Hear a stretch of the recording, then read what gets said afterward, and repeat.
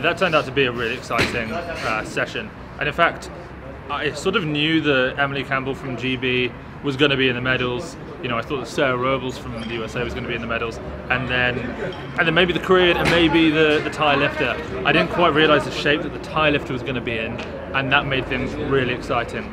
In the snatches, we had Sarah and Emily, you know, facing down in the back room, which was pretty cool. The Korean just to the side, and then the Thai lifter to the side as well. So they're all pretty packed in, certainly aware of what each other was doing.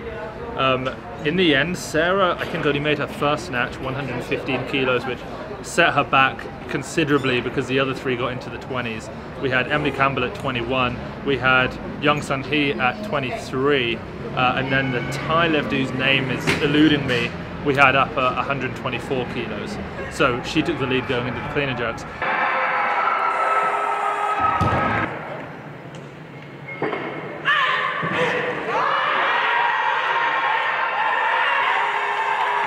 in the clean and jerks, it became apparent that Sarah was actually just not in the shape that she had been in at the Olympics. I spoke to Mike Cottone, uh, I spoke to Tim Swords as well. They said that she basically has only been training for this for like the last five weeks. So she came out, hit her opener, uh, no, missed her opener, no, hit her opener, Hit her opener and then- missed her second, yeah. and then made it on her third.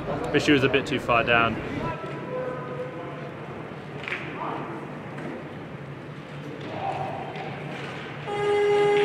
Emily came out, passed out after the clean, despite it looking easy. She hit 150 in the back room really nicely.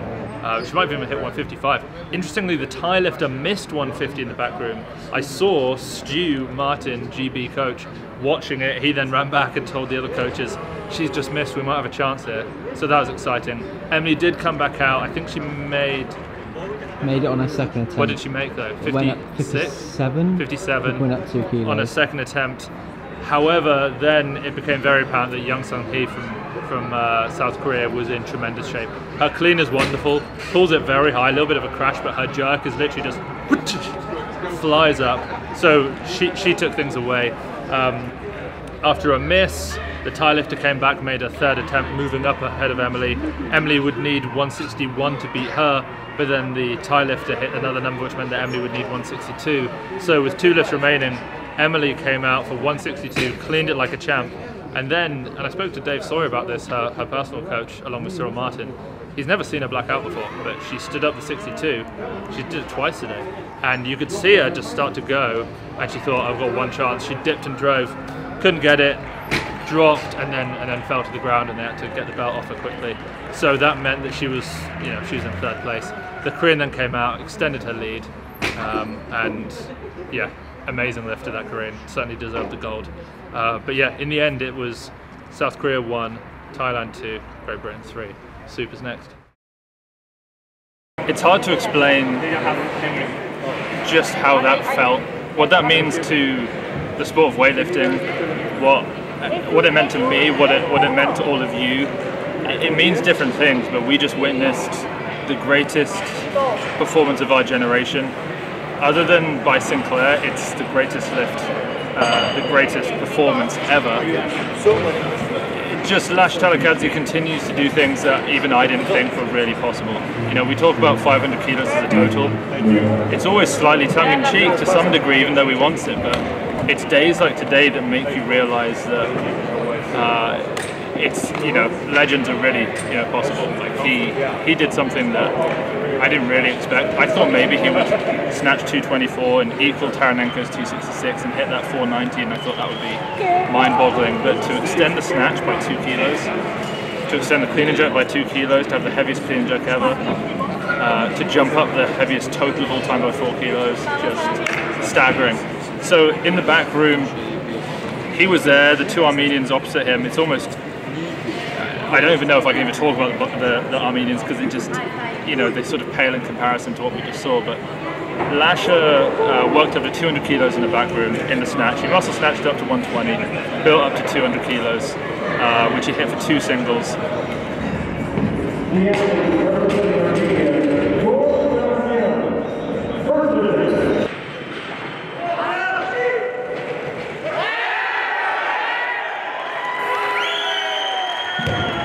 Then he went out, uh, was it 208, uh, 218, 225, seven kilo jump, uh, four reds on each side, a, myth- a truly mythical snatch. When I entered the sport, the heaviest snatch ever was 216. The current world record is 214. He's up that by 11 kilos.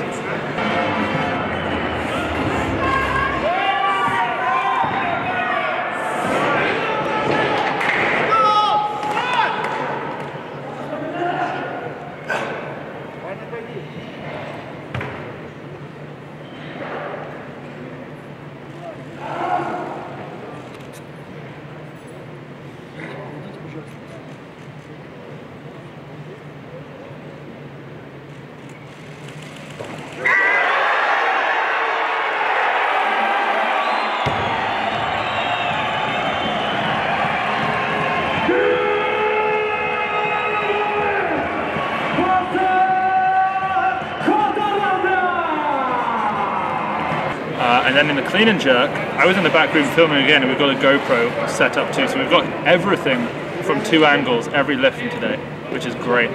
Um, he hit 220 and then he hit 240, and I was honestly stunned. I sent a message to Sergey. I said, Lasha just hit 240 in the back room. This is unheard of.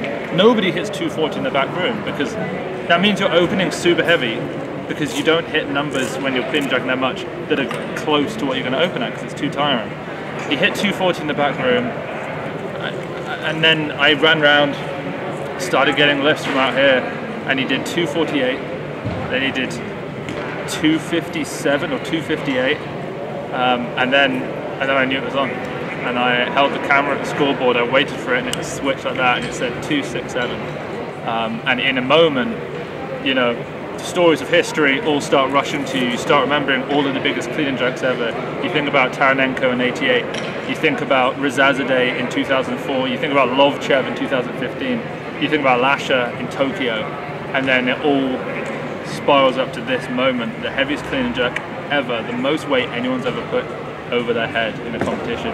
It puts to bed all of the skepticism when uh, when people say he's the strongest weightlifter ever, and some people say no, he's not. He's just lifted the most, but he's not as strong as this person. It's over. The game is over. The question's over.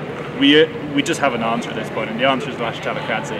225, 267, 492 kilo total. He is the greatest weightlifter of all time. And what a way to end this show. What a way to end uh, the World Champs. See you guys soon.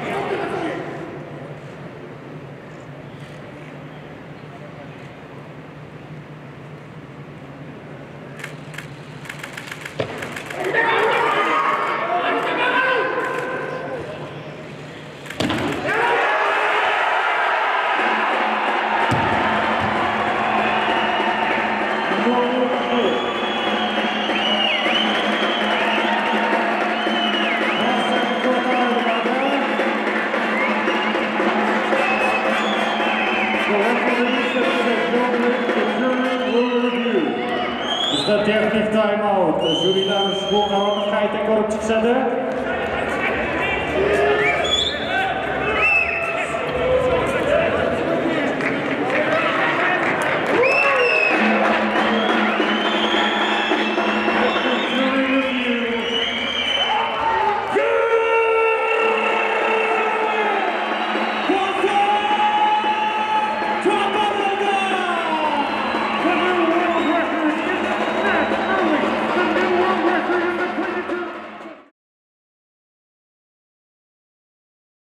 Final day today, final breakfast that we're going to have at the International Hotel. It's a sad time, honestly. Um, we're a little bit disappointed. I'm going to miss how good looking the food looks. I'm not going to miss how it tastes, and that's not an, and that's not a controversial thing to say. The food at this hotel, I think, by all accounts, has been below par by like multiple standard deviations. But nonetheless, we found out that the, the cocoa things are basically the best in here. The milk's warm, but you know when there's only one thing wrong with with the food, it's the food that you kind of have to stick to. Final day today, we've got the super heavyweights. Uh, so we've got Emily Campbell lifting at 1 p.m. for Team GB. I'm really excited for that. Um, obviously, partly because I know her, and partly because she is our best lifter in in, in the country. Um, certainly in terms of medals at this point, because she she took the silver medal at the Olympic Games. She's got a shot for gold here. Um, not sure whether she can get it. We don't know what kind of shape the Thailand lift is from. Um, and then there's a South Korean as well who looks pretty. I think she can beat the, the, the, the Korean lifter, the Thai lifter. That's what we don't know. And then on the men's side, we've got Lash Talakhadze. So I'm going to be down there. I'm going to get a GoPro set up, filming him. I'm going to be up the top, filming him with my other camera, and then Nick's going to be holding that camera that he's currently holding now so perfectly, and uh, filming from the side. So we'll get a lot of coverage of that. And that's at 4 p.m. And then the day is over early for our final day. What normally happens at these sorts of competitions, and no doubt it will happen today, is there'll be some sort of um, there'll be like the closing ceremony at the venue, but then there'll be uh, like a ball. Do you call it a ball? It's not. It's not a ball where you dress up, but like everyone's going to get together. Um, someone's going to give some talks. There'll be some food, drinks, and sort of all the hotels will come together. People sub their virus trackies for their for their jeans. You know, they start putting on their smart weightlifting house stuff like this, the champion stuff rather than the normal stuff.